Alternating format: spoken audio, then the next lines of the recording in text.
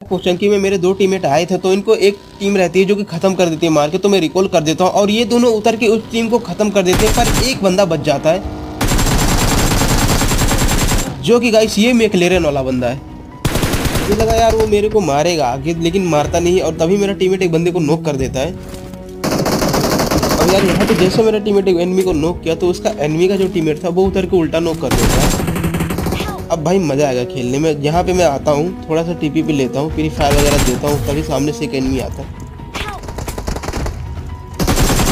इसको नोक करता हूँ। ये डांस डांस चल रहा है डांस वाला किसी ने फेंक दिया, सामने से एक बंदा और टपकता है।